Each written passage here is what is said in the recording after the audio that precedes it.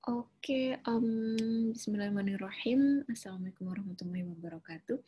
Selamat um, pagi menjelang siang, eh, teman-teman uh, semua. Baik, uh, pertemuan praktikum yang kedua ini kita akan membahas tentang uh, penulisan artikel ilmiah. Gitu. Sebelumnya kalau di pertemuan pertama kita sudah uh, mengenal Windows 10 itu seperti apa dan beberapa pendahulu-pendahulunya dan kali ini kita akan membahas tentang uh, cara penulisan ilmiah di mana nanti teman-teman sangat membutuhkan ini dalam uh, penulisan tugas, jurnal dan yang terpenting itu skripsi gitu ya.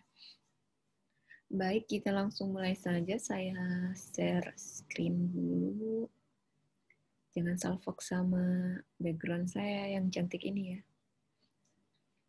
Oke, okay, wait.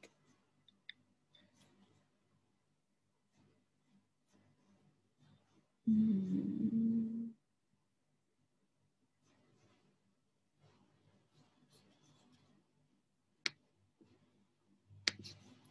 Oke, um, di sini teman-teman bisa lihat ya modul yang uh, pertama itu kita tentang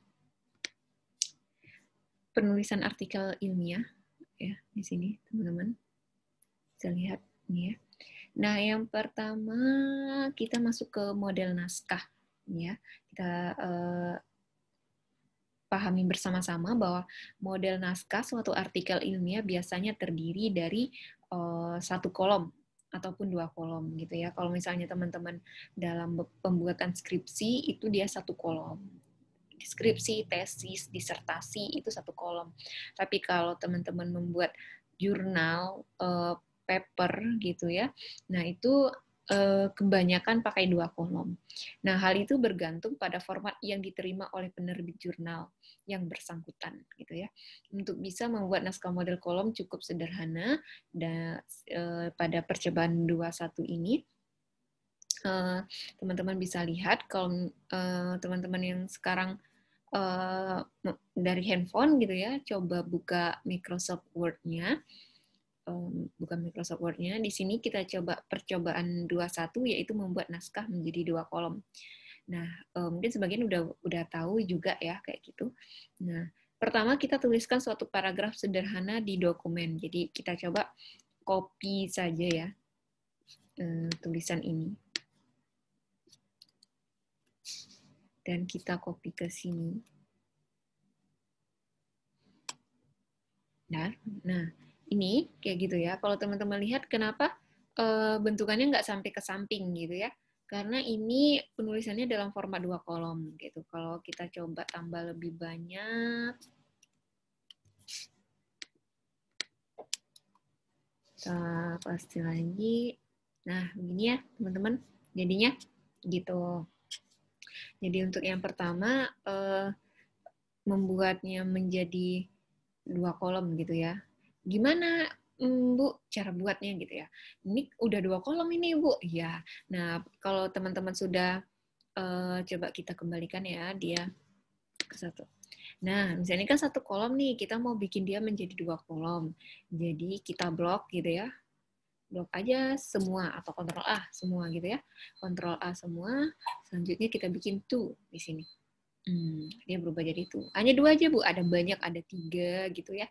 Nah, tapi rata-rata kalau jurnal, paper itu pakai yang dua. Gitu. Nah, itu untuk hmm, penggunaannya itu. Di mana, Bu? Gitu, pelan-pelan dong, Bu. Gitu ya praktiknya. Iya. Oke, baik. E, misalnya satu nih, udah ada nih tulisan kita. Kita mau bikin dua kolom. Kita, pertama kita blok dulu. Kita blok, atau kita kontrol A kalau semuanya mau dijadikan uh, dua kolom kita kontrol A. Selanjutnya pada menu di atas ini ya kalau di Word juga sama sih kayak gitu. Nah, di Microsoft juga sama gitu ya. Nah klik page layout ya kalau di Windows eh, kalau di Microsoft gitu ya di uh, Word Microsoft Word itu di uh, di page layout. Kalau di sini saya layout gitu ya masuk kita klik di layout itu nah selanjutnya klik kolom ada kolom di situ. Nah, klik kolomnya, lalu Berarti uh, kita tinggal pilih aja mana yang sesuai sama kita, ya. Itu dia untuk uh, percobaan yang pertama, gitu. Nah, untuk uh, yang kedua itu kita masuk ke rujukan atau citasi, gitu ya. Nah, uh, apa sih gitu uh, uh, tujuannya gitu. Nah, tujuan penulisan rujukan dalam artikel ilmiah adalah untuk memudahkan penulis dan pembaca yang ingin mengetahui atau memperoleh sumber informasi tentang bahan bacaan yang dikutip dan telah dituliskan dalam daftar pustaka gitu ya. Jadi nanti ada seperti ini, kita nanti akan uh, mengutip gitu ya kalau kita membuat paper, skripsi kayak gitu ya uh, kita akan mengutip karena kan uh, kita butuh relate work dari penelitian-penelitian sebelum terdahulu eh, sebelumnya atau terdahulunya kayak gitu. Nah, pada saat melakukan pengutipan sebaiknya menghindari mengutip keseluruhan tulisan dari sumber atau copy paste karena kalau sekarang um, sudah ada pendeteksi uh, plagiat gitu ya. Jadi teman-teman juga nggak dibenarkan misalnya kayak gini ada suatu uh, tulisan. Teman-teman copy semua pas nggak ada yang teman-teman ganti. Nah itu nanti ter, uh, terdeteknya itu plagiat kayak gitu. Nah jadi jangan kita sebaiknya kita hindari gitu. Nah untuk mengutip sebuah sumber pertama lakukanlah penyebutan kembali. Restatement restatement gitu ya. Jadi sebut kembali itu dikutip dari mana gitu ya. Itu dikutip dari mana. Eh, uh, sebagai seseorang yang sudah pernah meneliti di bidangnya ataupun uh, jangankan penelitian yang begini ya kita ambil contoh konteks yang dekat saja sama kita gitu. Ada lirik lagu yang sama aja uh, yang punya penyanyi pertama atau penciptanya nggak nggak suka gitu kan. Jangankan lirik lagu nada yang sedikit aja sama tanpa uh, ada sama itu juga jadi permasalahan gitu ya. Nah begitu juga di dalam uh, dunia akademisi gitu ya kita hati-hati dalam uh, mengkutip sebuah pernyataan dari buku dari paper atau dari mana pun gitu ya. Nah untuk mengutip sebuah sumber, pertama lakukanlah penyebutan kembali restatement kalimat-kalimat sumber dengan menggunakan bentuk lain gitu ya atau kata-kata lain yang memiliki makna yang sama misalnya atau namanya parafrase. Nah, jadi misalnya ada gini, tujuan penulisan rujukan dalam artikel ilmiah adalah untuk memudahkan penulis dan pembaca yang ingin mengetahui. Nah, ini kan kita anggaplah ini sebuah pernyataan orang gitu. Kita mau mengambil poin ini. Nah, maka kita parafrasekan kayak gitu. Jadi bisa kita uh, parafrasekan maksudnya tuh Eh, bagaimana caranya supaya dia tidak sama persis seperti ini, tapi tujuannya sama, gitu tercapai yang sama, gitu ya. Nah itu, kemudian dituliskan sumber rujukan dari kalimat-kalimat yang dikutip tersebut, gitu. Jadi jangan copy paste terus kita kutip siapa yang nulis itu dianggap kita nggak plagiat. Oh tidak kayak gitu. Kita wajib memparaparasekannya, lalu kita cantumkan sumbernya kayak gitu. Nah upayakan untuk tidak mengutip hanya dari satu sumber saja, melainkan dari beberapa sumber, dan meringkas gabungan kutipan tersebut ke dalam satu kalimat atau paragraf, dan kemudian menuliskan sumbernya. Nah, contoh ini ya. Memandang kemudahan penggunaannya, pendekatan grid partition, partition, umum digunakan dalam merancang sistem dalam sistem fuzzy. Itu menurut Zhang et al. pada tahun 97 dan menurut Ho et al pada 2000 gitu ya. Jadi di sini kita sudah memparafrasekan gitu menjadi sebuah uh, kutipan baru. Tapi ini bersumbernya dari mana kayak gitu ya. Mungkin ada pendekatan grid partition ini dan digunakan dalam merancang sistem fuzzy gitu dilakukan oleh siapa? Jang sama uh, Ho, Ho et al kayak gitu ya. Jadi uh, haruslah benar-benar uh, jelas sumbernya di mana gitu ya.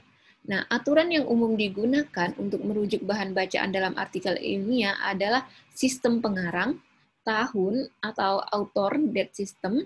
Eh, sistem ini dikenal umumnya sebagai Harvard referencing. Nah, kalau misalnya eh, dengan tem eh, dengan pola yang seperti ini, sistem pengarang dan tahun gitu ya. Nah, itu biasanya di nanti kita akan masuk bagaimana ya Harvard Harvard referencing itu modelnya seperti apa, IEEE modelnya seperti apa. Nanti kita akan ada membahas itu dengan aplikasi khusus gitu ya. Nah, pada rujukan yang menggunakan sistem pengarang tahun yang ditulis hanya nama akhir pengarang dan tahun gitu ya. Jika penulis terdiri dua orang, maka nama akhir mereka dipisahkan dengan tanda dan gitu ya. Sedangkan jika lebih dari dua orang, ditulis hanya nama penulis pertamanya. Kemudian dilanjutkan dengan et al. Gitu. Gitu ya. Nah, uh, contoh gini ya. Uh, Winkle 2011, Okwonu 2012 gitu. Corp and Nic uh, Nicholson 2011 gitu. Gunter and Wurz 2009. Nah, ini dia contohnya. Nama akhir penulis dan tahun terbit ditulis di dalam naskah di kalimat atau paragraf yang sama. Gitu. Jadi, jangan kutipannya mana, paragrafnya entah mana kayak gitu ya. Eh aku iya gitu. Nah contohnya yang kayak di atas sini. Mana yang dikutip ini kayak gitu ya. Langsung ditulis aja gitu. Jadi tahu oh ini berarti uh, menurut Jang et al and Ho et al gitu ya. Gitu. Nah contoh di sini contohnya ada ya Winkler 2011 nah pada tahun gitu ya Winkler 2011 berarti Winkler berkata pada papernya pada tahun 2011 meneliti tentang teknik dan taktik untuk keamanan cloud, bla bla bla bla bla gitu. Nah, jadi kita bakalan tahu bahwa ada sebuah uh, teknik dan taktik untuk keamanan cloud yang di uh, yang ditulis uh, oleh Winkler pada tahun 2011. Nah, selanjutnya seperti ini kalau di awal ya. Atau kita sebutkan dulu hmm, ininya untuk aplikasi additive additive filtering dan digunakan recursive uh, least square and uh, dan QR decomposition gitu ya. of ONU 2012 yang kestabilannya, nah gitu dikutip di, dimasukin dia. Bisa. Atau meskipun dianggap baru, namun algoritma artificial B koloni ABC telah digunakan secara luas dalam pencarian penyelesa uh, pencarian penyelesaian optimum Sukron et al 2011. Itu dikutip di terakhir. Gitu. Atau yang ini juga dikutip terakhir tapi sudah uh, ada dan gitu ya untuk uh, memisahkan uh, nama-namanya.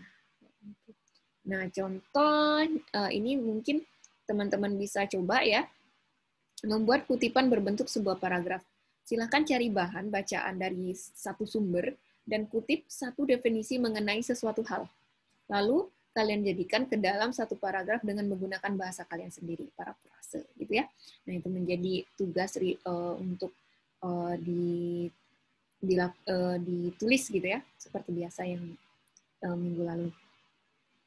Nah, untuk ketiga, kita masuk ke daftar pustaka atau bahasa slangnya dapus gitu ya, bahasa slangnya dapus atau bahasa ilmiahnya bibliografi gitu ya itu sama aja. Kalau ada yang bilang bibliografi, ada yang bilang daftar pustaka, itu sama.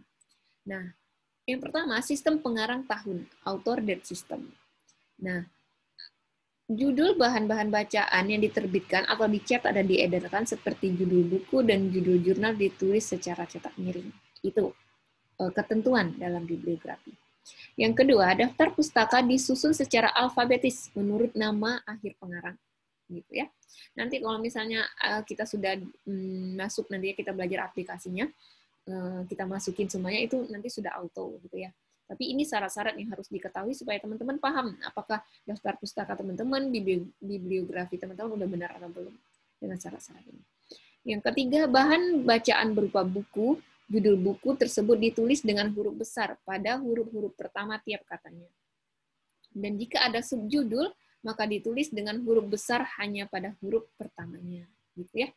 Nah, yang ke selanjutnya bahan bacaan berupa artikel ilmiah atau paper. Judul artikel tersebut ditulis dengan huruf besar hanya pada huruf pertamanya. Yang selanjutnya, bahan bacaan yang ditulis oleh dua orang pengarang dipisahkan oleh tanda N, seperti yang tadi atas tadi ya.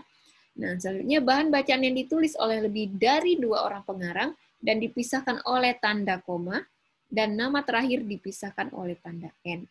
Gitu. Selanjutnya, apabila nama akhir pengarang pertamanya sama dan tahun terbitnya juga sama, satu orang pengarang ditulis terlebih dahulu daripada yang lebih dari satu orang. Itu ya. Jadi yang lebih pertama dulu gitu. Ya, eh yang satu orang dulu gitu. Dua atau lebih bahan bacaan yang pengarang pertamanya sama, tapi pengarang kedua atau ketiganya berbeda, disusun menurut abjad pengarang pertama, kedua, dan seterusnya. Gitu ya, A, B, gitu. Dua atau lebih bahan bacaan yang ditulis oleh pengarang yang sama, disusun menurut tahun terbit yang paling rendah. Gitu. Ribet amat ya, Bu. Bisa kayak gitu. Syaratnya sebegini, ya makanya ada aplikasi yang sudah memudahkan. Ini tapi ilmu dasar yang harus wajib diketahui dua atau lebih bahan bacaan yang ditulis oleh pengarang yang sama dan tahun terbitnya juga sama, maka disusun menurut abjad judul. Gitu. Dua atau lebih bahan bacaan yang ditulis oleh nama belakang pengarang yang sama, namun inisial nama tengah atau nama depan yang berbeda disusun menurut inisial tersebut. Nah, Kemudian kita masuk yang ke B, penulisan nama pengarang. Nama ditulis secara lengkap sebagaimana yang tertera pada halaman judul karya yang ditulisnya. Atau seperti yang tertera pada informasi hak cipta yang memuat data katalog dalam terbitan. Tanpa pangkat dan gelar. Jadi nggak boleh. Nggak boleh pangkat dan gelar. Nggak guna di dalam paper-paper yang kita bikin. Gitu ya. Nama pengarang ditulis mengikuti aturan nama akhir yang diikuti dengan inisial nama depan dan inisial nama tengah. Contoh, gini ya Lawrence Hunter gitu ya, ditulis Hunter L gitu ya, nama belakang dulu. George F. Luger gitu ya, kalau tiga deh gini, ditulis Luger GF. Nah setelah ditulis nama ketiga kembali ke yang pertama GF gitu ya. Kalau tadi pertama terakhir ini eh, terakhir pertama tengah gitu. Selanjutnya ini bahasa apa gitu ya, Majas Jursik gitu ya, ditulis Jursik M gitu. Selanjutnya Martin Hoffman Apitius ditulis Hoffman Apitius M gitu. Nah, kalau misalnya Martin Derijke ditulis Derijke M. Namun dalam hal ini diletakkan pada urutan alfabet R ya di situ. Kalau ada D di depannya gitu. Nah, Ziyuan Liu ditulis Liu Z gitu ya. Ho Bin Song ditulis HB gitu gitu. Eh ditulis Song Habi gitu ya, Song Habi. Moon Tek Cho ditulis Cho MT gitu ya. Ini ada beberapa dan Arifin ditulis Arifin. Kalau dia satu kata aja, Arifin tulis Arifin. Kalau kayak saya yang satu kata aja gitu ya, Haitu Nufus, ya udah ditulisnya Haitu Nufus kayak gitu. Nah itu beberapa contoh. Selanjutnya tata cara penulisan. Di sini meskipun terkadang ditemukan kekurangan informasi pada bahan uh, bacaan yang digunakan, namun harus diusahakan untuk menulis selengkap mungkin pada daftar pustaka yang kita buat, gitu ya. Contoh dia bahan kalau contoh bahan bacaannya berupa buku gitu ya, dia harus ada pengarang, tahun terbit, judul buku, edisi. Jika uh, selain edisi pertama itu ada, kita kan ada banyak ya kayak penerbit Andi gitu, ada banyak edisi keberapa, edisi keberapa.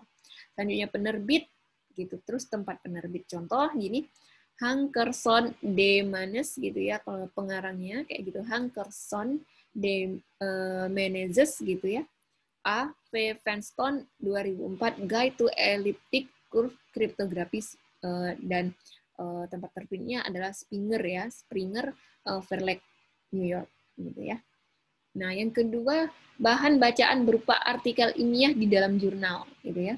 Ya, kalau di dalam jurnal itu biasanya itu ada pengarang, tahun terbit, jumlah artikel, nama jurnal, nomor jilid atau nomor isu ya jika ada dan ditulis di dalam kurung gitu ya. Terus selanjutnya halaman. Misalnya contoh, Oh Ohlman gitu ya, JW, M. Thomas DW 2007, judulnya A Compressed uh, Annealing Heuristic for for ya, for the traveling salesman problem with uh, time windows informs journal on computing pada halaman 80 sampai 90 gitu. Selanjutnya bahan bacaan berupa artikel ilmiah di dalam proceeding gitu ya. Ada juga proceeding di mana aturannya harus pengarang, tahun terbit, judul artikel, nama proceeding dan uh, halaman kayak gitu ya. Nah, contoh PIT D 2007 Design of a Compiler Construction Project Proceeding of uh, 23 Third Annual Eastern Conference uh, 207 gitu uh, pada halaman 112 120 gitu ya. Nah, selanjutnya bahan bacaan berupa artikel ilmiah di dalam majalah. Nah, itu ketentuannya ada pengarang, tahun terbit, judul artikel, nama majalah, bulan terbit, halaman. Contoh seperti ini, Hyman P 2012 in honor of Alan Turing, Communication of the ICM, August 8. Ini ya, halaman 8. Selanjutnya bahan bacaan berupa tulisan online atau portal berita gitu ya. Ketentuannya ada pengarang, tahun terbit, judul tulisan, nama portal berita gitu ya, tanggal terbit gitu ya. Sebenarnya halaman itu itu jika berita tersebut dicetak atau tanggal akses atau jika berita online. Contoh, Yusuf O 2012 komputer baru keluar pabrik sudah terinfeksi virus. Itu menurut kompas.com gitu ya. Pada 17 September 2012 diakses pada 17 September 2012. Jadi ini uh, ke uh, apa namanya tanggal terbit ya kayak gitu. Terus tanggal akses. Selanjutnya bahan bacaan berupa bahan tidak uh, terbit atau skripsi tesis disertasi gitu ya. Yaitu pengarang tahun terbit judul tulisan nama koleksi nama tempat bahas bahan tersebut disimpan. Misalnya Marbun satu satu 2012 tahun 2000 II 2012 permainan uh, word search puzzle pada Android menggunakan algoritma backtracking skripsi Universitas uh, Sumatera Utara misalnya atau Medan Area kayak gitu ya. Nah, contoh bacaan berupa elektronik e-book atau website gitu ya dan lain-lain. ada pengarang, ada tahun terbit, ada judul tulisan, nama jurnal proceeding atau buku gitu ya. Nah, nomor jilid, nomor isu, halaman, jenis media, alamat web, tanggal akses. Nah, ini agak panjang ya. Nah, percobaan selanjutnya membuat daftar pustaka. Jadi teman-teman silahkan cari bahan bacaan sebanyak 10 sumber, gitu ya. 10 sumber, karena kalau kita dalam membuat sebuah penelitian itu minimal uh, eh, 11 sebenarnya, minimal itu paling uh, sedikit sekali, gitu ya. 10 sumber dan buat ke dalam satu daftar pustaka. Jadi bikinlah seperti ini. Misalnya sumbernya apa? Jurnal, bikin dia ikut yang format jurnal, gitu ya. Misalnya skripsi, bikin ikut format yang skripsi, gitu ya Nah, buat dalam satu daftar pustaka. Selanjutnya ada latihan, buatlah sebuah naskah ilmiah sederhana berbentuk dua kolom, yang tadi saya contoh, uh, yang mengandung kutipan, gitu ya, kutipan terserah yang di ini teman-teman mau pilih, gitu ya, dan cantumkan sumber bacaannya ke daftar pustaka, dan masukin lagi dia ke daftar pustaka, gitu ya. Naskah tersebut boleh mengenai apa saja dengan minimal 10 sumber. Gitu ya teman-teman, jadi uh, latihan cukup jelas. Uh, jadi teman-teman cari dulu ya. Pertama teman-teman cari dulu 10 sumber bacaan teman-teman, terus uh, masukkan itu ke dalam Word gitu ya, jadikan dia dua kolom gitu ya. Terus uh, dikutip, nah cantumkan sumber bacaannya ke daftar pustaka gitu ya. Oke, um, itu dulu uh, praktikum kita hari ini. Teman-teman boleh lakukannya lakukan percobaannya segera uh, di uh, komputer masing-masing gitu ya dan dikumpulkan seperti biasa ke saya. Oke, baik teman-teman, uh, terima kasih atas um, kesediaannya menonton video yang tidak seberapa ini. Semoga nanti uh, ada manfaatnya dan bisa diulang kembali. Oh, kalau ada ingin yang bertanya, silahkan ditanya di kolom komen di bawah ini, gitu ya. Uh, ditanya atau uh, bisa di grup kita. Oke, gitu dulu eh, teman-teman uh, yang bisa saya sampaikan. Kita uh, saya tunggu tugasnya dan kita ketemu lagi di praktikum selanjutnya. Saya akhiri wabillahi taufiq wal hidayah. Wassalamualaikum warahmatullahi wabarakatuh.